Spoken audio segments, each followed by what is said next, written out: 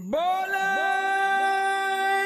ਸੋਨੇ ਹਾਲ ਸਾਸਰੀ ਅਕਾਲ।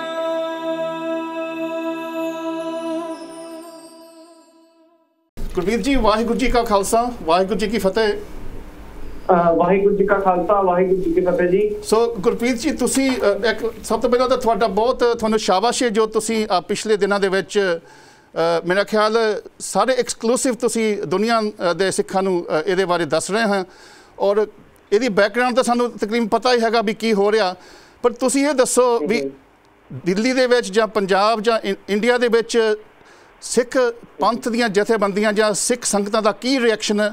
ਤਾਂ 25 ਅਕਤੂਬਰ ਨੂੰ ਕੀ ਹੋਣਾ ਹੈਗਾ ਤਾਂ ਕੀ ਉੱਥੇ ਕੋਈ ਪ੍ਰੋਟੈਸਟ ਜਾਂ ਕੋਈ ਇਸ ਤਰ੍ਹਾਂ ਕੀ ਸਿਚੁਏਸ਼ਨ ਹੈਗਾ?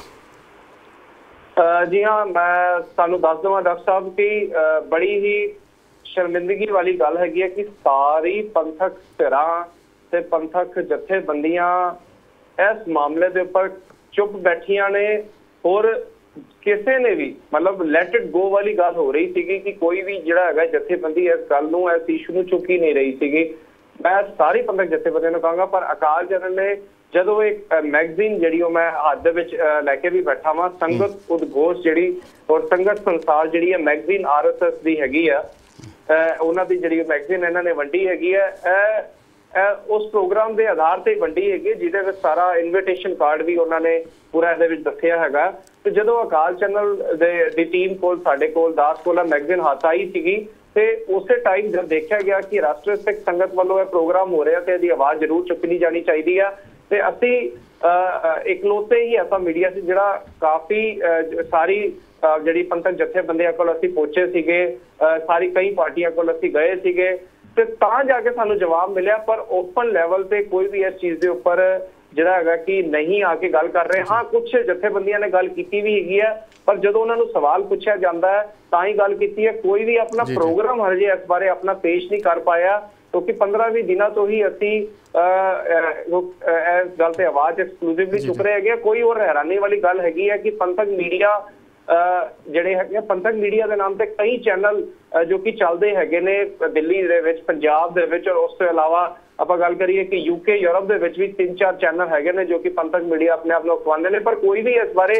ਗੱਲ ਹੀ ਨਹੀਂ ਕਰ ਰਿਹਾ ਕੋਈ ਕਿਸੇ ਨੂੰ ਆਪਣਾ ਫਰਜ਼ ਹੀ ਨਹੀਂ ਸਮਝ ਰਿਹਾ। ਇਸ ਬਾਰੇ ਗੱਲ ਕਰਨ ਬਾਰੇ ਤੇ ਪਰ ਜਦੋਂ ਇਸ ਇਸ਼ੂ ਨੂੰ ਅਸੀਂ ਲਗਾਤਾਰ ਚੁੱਕ ਰਹੇ ਅਸੀਂ ਸਾਰੀ ਪਾਰਟੀਆਂ ਸਭ ਤੋਂ ਪਹਿਲੇ ਅਕਾਲੀ ਦਲ ਦਿੱਲੀ ਬਾਦਲ ਜੋ ਕਿ ਬਾਦਲ ਦਲ ਜੋ ਕਿ ਦਿੱਲੀ ਕਮੇਟੀ ਦੇ ਵਿੱਚ ਜਿਹੜੇ। ਹੈਗੇ ਨੇ ਉਸ ਤੋਂ ਇਲਾਵਾ ਉਹਨਾਂ ਕੋਲ ਅਸੀਂ ਗਏ ਧਰਮ ਪ੍ਰਚਾਰ ਕਮੇਟੀ ਦੇ ਰਾਣਾ ਸਾਹਿਬ ਕੋਲ ਅਸੀਂ ਗਏ ਉਹਨਾਂ ਦੇ ਜੋ ਕਿ ਦਿੱਲੀ ਕਮੇਟੀ ਦੇ ਸਪੋਕਸਪਰਸਨ ਕੋਲ ਉਹਨਾਂ ਗਏ ਉਹਨਾਂ ਨੇ ਚਲੋ ਇਸ ਬਾਰੇ ਕਿਹਾ ਕਿ ਅਸੀਂ ਅਕਾਲ ਤਖਤ ਸਾਹਿਬ ਦੇ ਨਾਲ ਆ ਸਰਨਾ ਸਾਹਿਬ ਕੋਲ ਅਸੀਂ ਗਏ ਉਹਨਾਂ ਨੇ ਵੀ ਕਿਹਾ ਜੀ ਅਸੀਂ ਅਕਾਲ ਤਖਤ ਸਾਹਿਬ ਦੇ ਹੁਕਮਨਾਮੇ ਦੇ ਨਾਲ ਆ ਤੀਜੇ ਫਿਰ ਪੰਥਕ ਸੇਵਾ ਦਲ ਕੋਲ ਅਸੀਂ ਗਏ ਉਹਨਾਂ ਨੇ ਵੀ ਕਿਹਾ ਜੀ ਅਸੀਂ ਇਸ ਪ੍ਰੋਗਰਾਮ ਵਿਰੋਧ ਕਰਦੇ ਹੈਗੇ ਆ ਹਾਂ ਪੰਥਕ ਸੇਵਾ ਦਲ ਨੇ ਇਹਦੇ ਵਿੱਚ ਇੱਕ ਆਪਣੀ। ਪਾਰਟੀ ਮੀਟਿੰਗ ਜ਼ਰੂਰ ਬੁਲਾਈ ਸੀਗੀ ਇਸ ਪ੍ਰੋਗਰਾਮ। ਦੇ ਬਾਰੇ ਔਰ ਸਰਨਾ ਧੜੇ ਨੇ ਵੀ ਇਸ ਬਾਰੇ ਆਪਣੀ ਜ਼ਰੂਰ ਮੀਟਿੰਗ। ਕੀਤੀ ਹੈਗੀ ਪਰ ਉਹ ਸਾਰੀਆਂ ਔਰ ਬਾਦਲ ਦਲ ਨੇ ਵੀ ਕੀਤੀ ਹੋਏਗੀ ਪਰ ਉਹ ਸਾਰੀਆਂ ਮੀਟਿੰਗਸ ਉਹਨਾਂ ਦੀ ਇੰਟਰਨਲ। ਲੈਵਲ ਦੀਆਂ ਮੀਟਿੰਗ ਸੀਗੀਆਂ ਹੋਰ ਉਸ ਤੋਂ ਇਲਾਵਾ ਜਥੇਦਾਰ ਰਣਜੀਤ ਸਿੰਘ ਹਰਾ ਕੋਲ ਵੀ ਅਸੀਂ ਗਏ ਹੈਗੇ ਜਿਹੜੇ ਜਿਹੜੇ ਕਿ ਸਾਬਕਾ ਜਿਹੜੇ ਅਕਾਲ ਤਖਤ ਸਾਹਿਬ ਦੇ ਜਥੇਦਾਰ ਉਹਨਾਂ ਨੇ ਵੀ ਇਸ ਦਾ ਵਿਰੋਧ ਕੀਤਾ ਹੈਗਾ। ਅਕਾਲੀ ਦਲ ਅੰਮ੍ਰਿਤਸਰ ਮਾਨ ਦਲ ਕੋਲ ਵੀ ਗਏ ਆ ਉਹਨਾਂ ਨੇ ਵੀ ਇਸ ਗੱਲ ਦਾ ਵਿਰੋਧ ਕੀਤਾ ਹੈਗਾ। ਪਰ ਹਜੇ ਤੱਕ ਕਿਸੇ ਪਾਰਟੀ ਨੇ ਵੀ ਆਪਣਾ ਕੋਈ ਪ੍ਰੋਗਰਾਮ ਜਾਂ ਵਿਰੋਧ ਵਾਸਤੇ ਓਪਨਲੀ ਇਸ ਬਾਰੇ ਖੁੱਲ ਕੇ ਆਪਾਂ ਸਵਾਲ ਕਰ ਰਹੇ ਹਾਂ ਜਵਾਬ ਮਿਲ ਰਿਹਾ ਪਰ ਸੰਗਤ ਰੂਪ ਚ ਪ੍ਰੋਗਰਾਮ ਨਹੀਂ ਪੇਸ਼ ਕੀਤਾ ਜਾ ਰਿਹਾ। ਗੁਰਪ੍ਰੀਤ ਸਿੰਘ ਜੀ ਬਹੁਤ ਧੰਨਵਾਦ। ਇੱਕ ਹੋਰ ਮੈਂ ਹੋਰ ਤੁਹਾਨੂੰ ਸਵਾਲ ਪੁੱਛਣਾ ਸ਼ਾਰਟ ਦੇ ਵਿੱਚ ਤੁਸੀਂ ਆਨਸਰ ਦੇਣਾ। ਉਹ 25 ਅਕਤੂਬਰ ਜੋ ਪ੍ਰੋਗਰਾਮ ਹੋ ਰਿਹਾ ਉਹਦੀ ਰੂਪਰੇਖਾ ਦੇ ਬਾਰੇ ਸਾਨੂੰ ਕੀ ਪਤਾ ਵੀ ਕੀ ਉੱਥੇ ਹੋ ਰਿਹਾ ਕੀ ਉੱਥੇ ਉਹਨਾਂ ਨੇ ਬੁਲਾਰੇ ਕਿਹੜੇ ਬੁਲਾਉਣੇ ਆ ਔਰ ਕੀ ਉੱਥੇ ਹੋਣਾ ਕੀ ਹੈਗਾ? ਕੁਝ ਪਤਾ ਸਾਨੂੰ?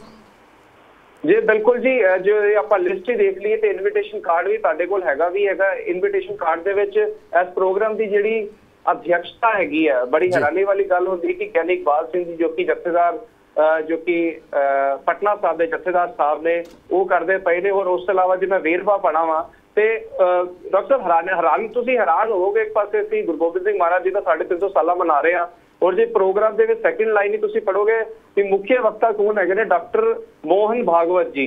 ਔਰ ਥੱਲੇ ਲਿਖਿਆ ਹੋਇਆ ਬਿਲਕੁਲ ਧਿਆਨ ਨਾਲ ਪੜਿਓ ਤੁਸੀਂ ਥੱਲੇ ਲਿਖਿਆ ਹੋਇਆ ਪਰਮ ਪੂਜਯ ਪਰਮ ਪੂਜਯ। ਸਭ ਸਭ ਚਾਲਕ ਰਾਸ਼ਟਰੀ ਸਵੈ ਸੇਵਕ ਸੰਘ। ਯਾਨੀ ਕਿ ਇੱਕ ਪਾਸੇ ਤੁਸੀਂ ਗੁਰੂ ਗੋਬਿੰਦ ਸਿੰਘ ਮਹਾਰਾਜ ਜੀ ਦਾ ਪ੍ਰਕਾਸ਼ ਪੁਰਬ ਮਨਾ ਰਹੇ ਹੋ ਔਰ ਦੂਜੇ ਪਾਸੇ ਤੁਸੀਂ ਮੋਹਨ ਭਾਗਵਤ ਨੂੰ ਪਰਮ ਪੂਜਿਆ ਕਹਿ ਰਹੇ ਹੈਗੇ ਕਿ ਉਹ ਵੀ ਪੂਜਨ ਲਾਇਕ ਹੈਗੇ ਰਾਜਨਾਥ ਸਿੰਘ ਮੰਤਰੀ ਨੇ ਔਰ ਆਸ਼ੀਰਵਾਚਨ ਹੈਗਾ ਕਿ ਇਸ ਪੰਡਿਤ ਸੰਤ ਗਿਆਨਦੇਵ ਜੀ ਮਹਾਰਾਜ ਮਹੰਤ ਨਿਰਮਲ ਅਖਾੜਾ ਕਨਖਲ ਹਰਿਦਵਾਰ।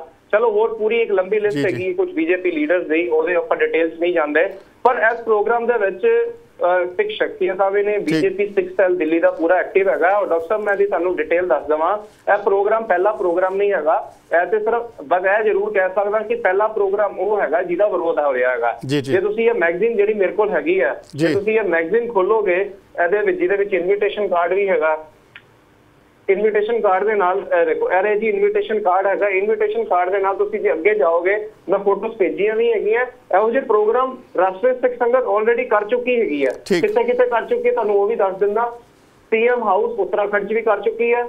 ਸੀਐਮ ਹਾਊਸ ਰਾਜਸਥਾਨ ਦੇ ਵਿੱਚ ਵੀ ਕੰਮ ਕਰ ਚੁੱਕੀ ਹੈ। ਸੀਐਮ ਰਾਜ ਭਵਨ ਝਾਰਖੰਡ ਦੇ ਵਿੱਚ ਵੀ ਕਰ ਚੁੱਕੀ ਹੈ। ਰਾਜ ਭਵਨ ਹਰਿਆਣਾ ਦੇ ਵਿੱਚ ਵੀ ਕਰ ਚੁੱਕੀ ਹੈ। ਕਰਨਾਟਕਾ ਦੇ ਵਿੱਚ ਵੀ ਸੀਐਮ ਹਾਊਸ 'ਚ ਕਰ ਚੁੱਕੀ ਹੈ ਮੁੰਬਈ ਸੀਐਮ ਹਾਊਸ 'ਚ ਵੀ ਕਰ ਚੁੱਕੀ ਹੈ। ਸੂਰਤ ਗੁਜਰਾਤ ਦੇ ਵਿੱਚ ਵੀ ਕਰ ਚੁੱਕੀ ਹੈ ਔਰ ਹਰਿਦਵਾਰ ਦੇ ਵਿੱਚ ਵੀ ਇੱਕ ਬੜਾ ਵੱਡਾ ਪ੍ਰੋਗਰਾਮ ਹੋ ਚੁੱਕਾ ਹੈਗਾ। ਤੇ ਯਾਨੀ ਕਿ ਕਈ ਜਗ੍ਹਾ ਪ੍ਰੋਗਰਾਮ ਹੋ ਚੁੱਕੇ ਨੇ। ਰਾਸ਼ਟਰੀ ਸਿੱਖ ਸੰਗਤ ਨੂੰ 100 ਕਰੋੜ ਮੋਦੀ ਗਵਰਨਮੈਂਟ ਵੱਲੋਂ ਦਿੱਤਾ ਗਿਆ ਸੀ। ਸਾਲਾ ਮਨਾਉਣ ਵਾਸਤੇ। ਵਿਰੋਧ ਵਾਲਾ ਪਹਿਲਾ ਪ੍ਰੋਗਰਾਮ। ਹੈ ਗੁਰਪ੍ਰੀਤ ਜੀ ਬਹੁਤ ਧੰਨਵਾਦ ਜੀ। ਤੁਸੀਂ ਸਾਨੂੰ ਬਹੁਤ ਹੀ ਕਲੀਅਰਲੀ ਇਨਫੋਰਮੇਸ਼ਨ ਦਿੱਤਾ। ਅਸੀਂ ਮੁੜ ਕੇ ਤੁਹਾਡੇ ਕੋਲ ਆਉਂਗੇ।